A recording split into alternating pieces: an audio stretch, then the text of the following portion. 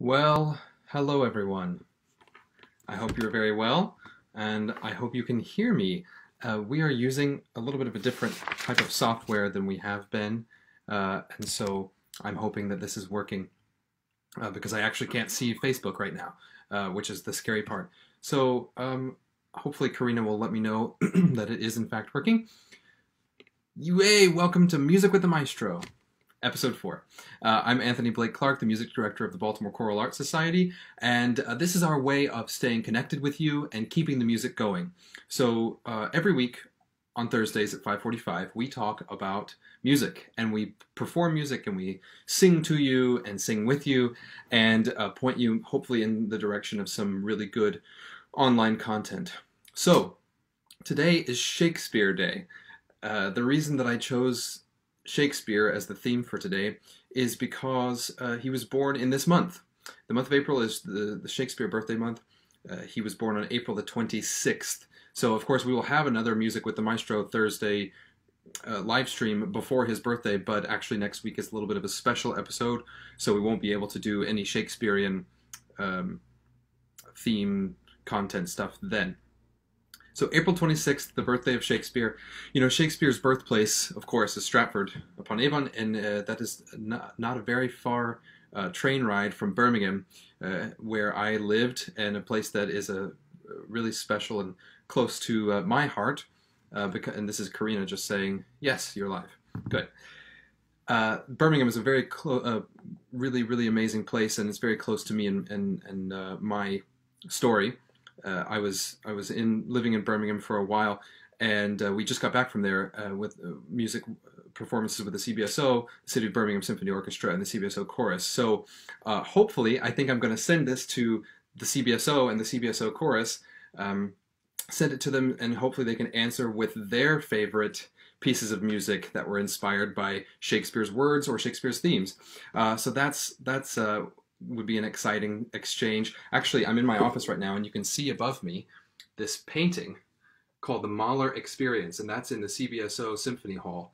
So that's Simon Rattle uh, at the bottom, and that's the orchestra and the chorus, and all of that sort of fog, mist, incense, I, I like to think of it, is the music sort of emanating in and around the performers and into the concert hall and up towards the heavens. That's the Mahler Experience. Um, I think it, it uh, that painting does Mahler justice. So, much like uh, Goethe, Moliere, people like that, uh, Shakespeare has inspired artists and musicians and composers uh, throughout the world, really. Um, and especially in Europe in, in the 19th century, I think there was a flood of artistic output from Shakespeare's themes. So, what are some of the most well known uh, pieces of music that draw from Shakespeare's texts or Shakespeare's works or themes? Uh, of course, the first thing that comes to my mind is Mendelssohn, Midsummer Night's Dream. Uh, he wrote that overture, I think, when he was 16 years old. Uh, it's it's frightfully phenomenal how how wonderful it is from a composer of such a young age. And of course, about a decade and a half later, he wrote the incidental music to the play, and that's where the Wedding March comes from, that we all love. Verdi, Falstaff, and Otello, um, wonderful operas.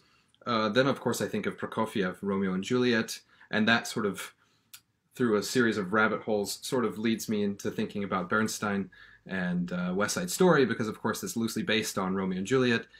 Uh, as far as choral music goes, uh, you know, you would you would think that if we were doing a, a, a live stream about choral music and Shakespeare, that we would do Ralph Vaughan Williams' Serenade to Music. We're not going to listen to that, uh, but uh, because I assume that many of you already have actually even maybe uh, dare I say even seen a live performance of it somewhere. But Serenade music is wonderful. It's just this little short, little golden nugget of a piece, about 12 minutes long. And if you get a score, you'll see the soloists' names in different places where the soloist allocations are um, from the premiere, and and that's really exciting and fun to to look at. It's a very nerdy thing. Uh, go check out Serenade to Music, Vaughan Williams, and Vaughan Williams also has a series of songs and some choral pieces uh, set to Shakespeare tunes or uh, texts, and of course Finzi, Gerald Finzi, a number of con- contemporary composers. Um, I'm thinking of Conrad Susa. The uh, there's a there's a dirge from Cymbeline that uh, Conrad Susa has set very recently for choir and trumpet, and the trumpet starts off uh, antiphonally in the back of the hall and gets closer and closer. It's really beautiful. I thought that we would do something different. I thought that maybe we would listen to uh, two different pieces by composers that maybe you haven't heard of before, and maybe I can introduce you to some really good music. Um, and we're going to look at the same text so uh, that you can compare the musical the treatment of the text. So the text is the uh, the old little five line, four line uh, excerpt from The Tempest. I think it's Act Two, and it's called Full Fathom Five. So it's talking about a fathom. Uh, this is this is a, a, an underwater measurement, so it's a depth measurement. So fun fact: how many fathoms or how many feet are in a fathom? Well, it's six feet. So if there are five fathoms, then it's about 30 feet down. So we're talking about um, a character that lives underneath the sea. In other words, it's a euphemism for someone's died and uh, is is sort of has this sort of underwater burial. So 30 feet below, it, it's interesting that it's not you know 200 feet below. So it, it's clo- much closer to us living beings, right? So I think it it's um it's close enough to the surface to interact with, um, which is kind of scary and mysterious and fun. So this is uh, the first setting of Full Fathom 5 that I'm going to play for you is by Jaakko Mantajärvi, and I'm sorry if I've mispronounced your name. It's a beautiful name. This is a very young composer, only eight years older than I. So this is one setting of Full Fathom 5.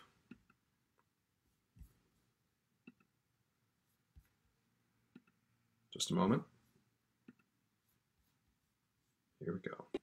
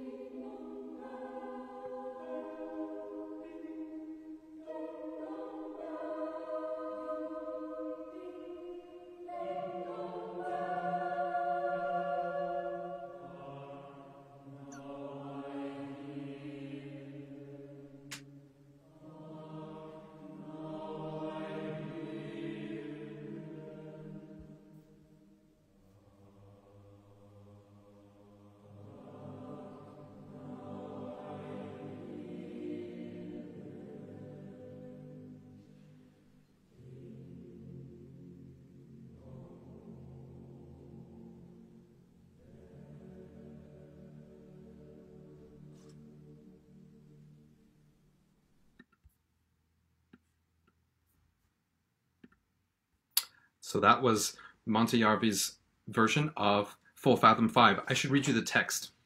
Full fathom five thy father lies, of his bones are coral made.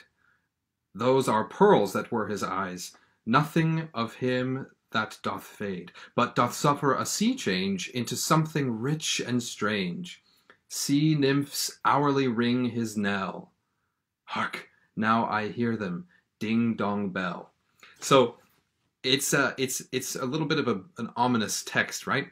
I think it's so interesting this this piece. So uh, now you are going to uh, be an honorary member of last year's George Washington University uh, choral conducting class. So um, it's really funny. Five five phrases in this whole thing. It's a pretty short piece, right? It's about two minutes long. Just five phrases. Isn't it interesting that it's five fathoms as well? Um, the first phrase consists of three small little phrasettes. Um, the first two are in A flat, and they're fairly stable. Then, when we get to the pearls that were his eyes, we go from A flat to B minor, which even if you ima- if you, if you can imagine a keyboard in front of you, A flat major to B minor, uh, as far as the, the fingers go, it's relatively quick to get there. In other words, A flat and B, the two notes, the two tonic keys, are only a minor third apart from each other. But harmonically, they could not be further apart. Um, this is called a chromatic mediant relationship. I guess it's a doubly chromatic chromatic mediant relationship, and um, it, it's supposed to feel a little bit of a like a jarring effect. So that's just one phrase. Um, uh, there, there's a sort of a different chord for each metaphor. Um, first, we talk about the fathom five, that where the Father lies, and that's sort of this this sort of stable A flat. And then when we talk about up his bones are coral, when we get to the word coral made, uh, made of coral reef, right? Um, then we have this amazing different different chord that sort of strikes out as coming out of the blue. And then, of course, when we get to B minor, we're talking about the pearls that were his eyes. So it's very it's it's quite a sort of mysterious kind of watery sound. Just listen to that again.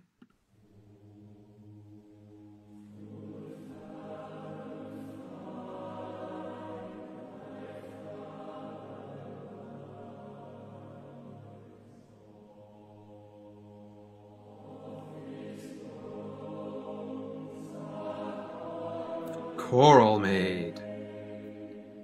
Then these are the pearls.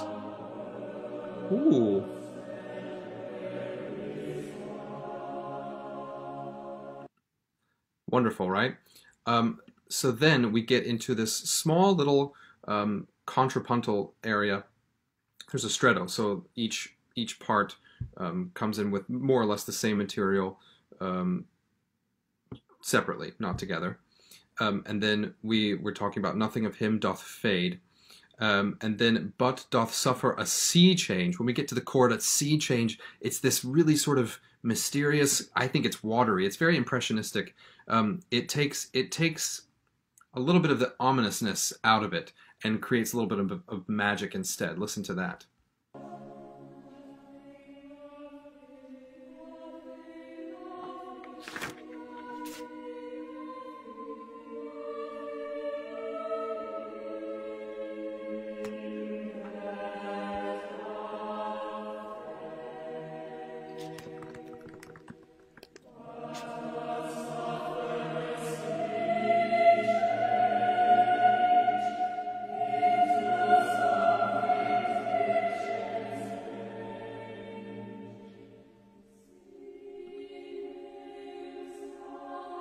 Sea nymphs hourly ring his bell.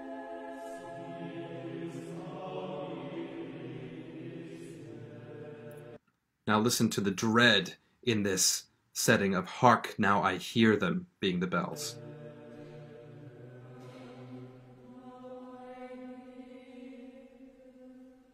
Isn't that nice? The, the dissonance sort of points the audience toward the fact that the bells that you hear uh, aren't necessarily a good thing, right? And then the ding dongs of the bells come.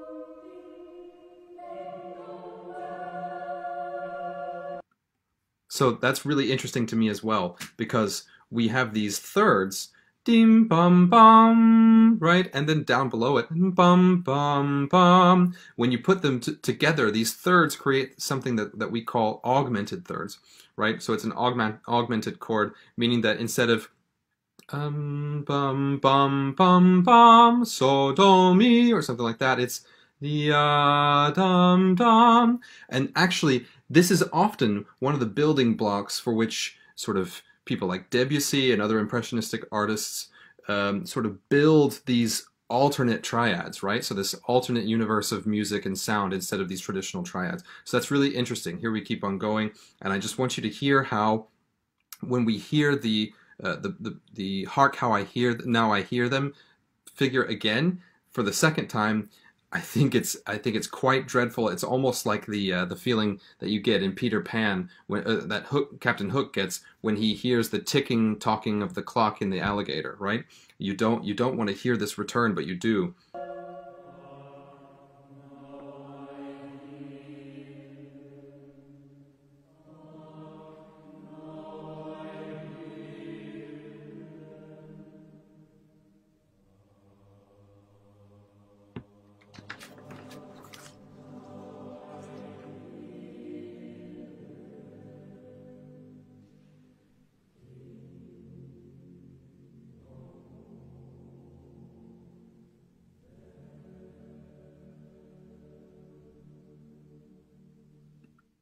Really interesting, right?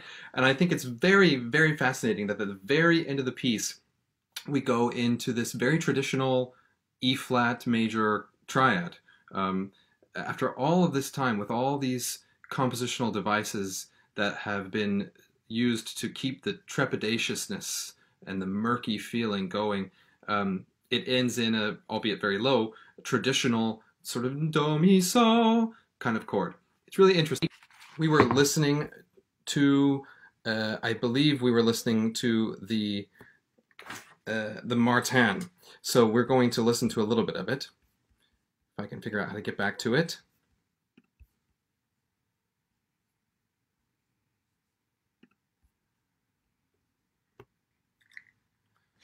So I'm just going to explain as we go along um, what is happening here. So at the very beginning of the piece, you see a background, a ripple of waves is established. And then the melody comes in in the baritones.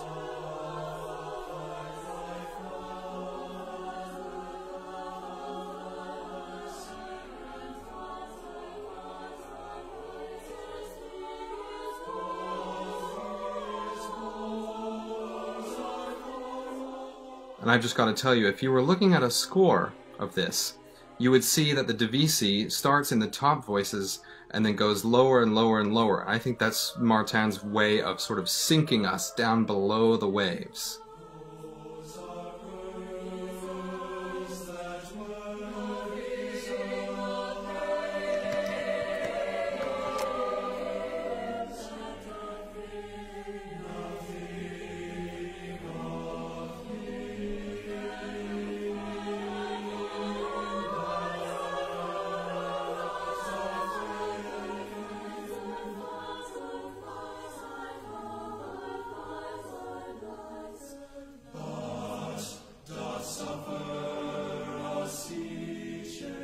There's a little glimmer of hope there in those chords.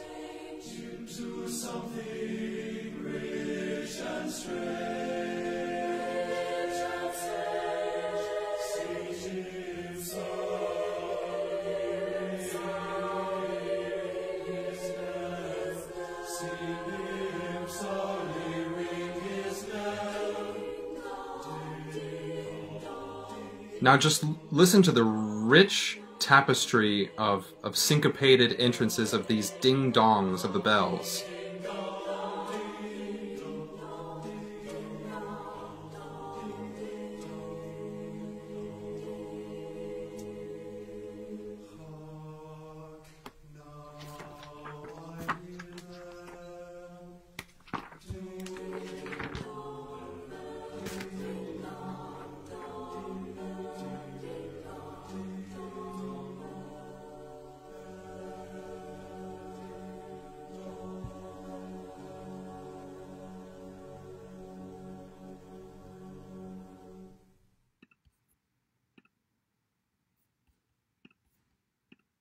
Really interesting setting, right? It's completely different from the first version.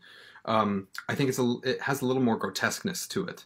Um, it's really interesting. Frank Martin's compositional idiom is incredible. Um, so go do check out the Frank Martin Mass.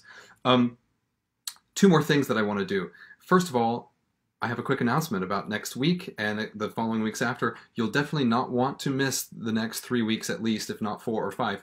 Um, we're taking a little bit of a pivot in our programming, and I am going to have guest artists join me for some Q&A and some uh, bouncing back and forth conversation, conversations about music and choral music and, and conducting. Uh, so I have uh, some, some dear friends and colleagues that have asked to join me. The first one will be next week. Um, it is this this person is a consummate musician, wonderful conductor, uh, and basically is leading the world in choral music. Uh, Simon Halsey is the chorus director of the CBSO Chorus, the City of Birmingham Symphony Orchestra Chorus. He's the choral director of the London Symphony Chorus, and he's also the artistic director of the uh, Palau de la Música Catalana in Barcelona, and he's the conductor laureate of the Rundfunkchor Berlin, where he's won two Grammy Awards for his work there, and he's also uh, a dear friend and my mentor. Uh, so I studied with him, and it's going to be a great conversation next week about choral music and uh, what us artists can do in this forced downtime. The week after that, we're going to be joined by our hometown hero, Marin Alsop. She's going to join me um, to talk about music and maybe some some conversations around Bernstein's Mass. The week after that, we're going to have Simon Carrington, who was for a time the director of choral activities at Yale University, but his his uh, claim to fame was that he was one of the founders of the King's Singers. So we're going to have a great conversation about music and all things because he's such a Renaissance man. No pun intended. So please don't miss the next installments of Music with the Maestro, and after that, I'm going to line up uh, a few more conductors to talk to after after these first three. So you won't want to miss it. Uh, enjoy some Shakespeare. The last thing I want to do is I want to introduce you to some of William Walton's uh, movie score for Henry V, 1944, with a young, dashing Laurence Olivier. And I want to show you this. This is my copy of the complete works of Shakespeare. Uh, this was actually my Nana's copy. She was such a wonderfully uh, well-read, educated woman, even though she only went to high, uh, she finished high school and that was it. But she was extremely well-read, um, and I got her copy of the complete works of Shakespeare. And I promise that this is no joke. Uh, hand to the heavens. I opened this up to this page where the sonnet Shall I compare thee to a summer's day was just lying right in front of me, so I thought, this was fate. I have to read this to you. So I'm going to introduce you to William Walton's music from Henry V, and after a while, after you've heard some, some of the beautiful music, I'll recite you a sonnet.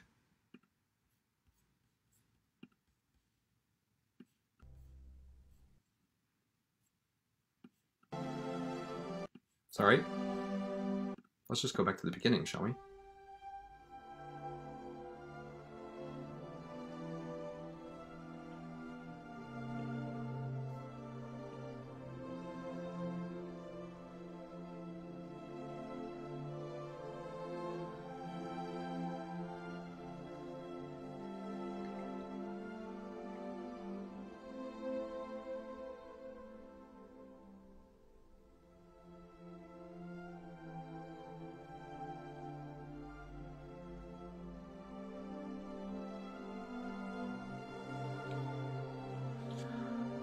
Shall I compare thee to a summer's day? Thou art more lovely and more temperate. Rough winds do shake the darling buds of May, and summer's lease hath all too short a date. Sometime too hot the eye of heaven shines, and often is his gold complexion dimmed. And every fair from fair some time declines, by chance or nature's changing course untrimmed. But thy eternal summer shall not fade, nor lose possession of that fair thou owest. Nor shall death brag thou wanderest in his shade, when an eternal lines to time thou growest. So long as men can breathe or eyes can see, so long lives this, and this gives life to thee.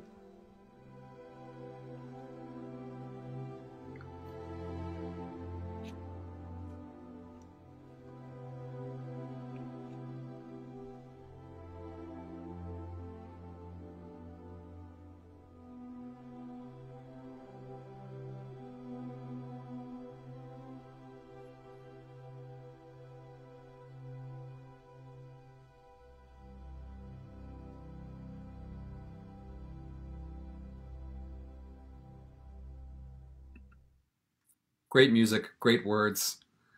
Go read some Shakespeare, and maybe go listen to Vaughan Williams' Serenade to Music. Your heart will thank you for it. Uh, in the meantime, stay safe, stay healthy, and keep the music going. We'll see you next week with Simon Halsey.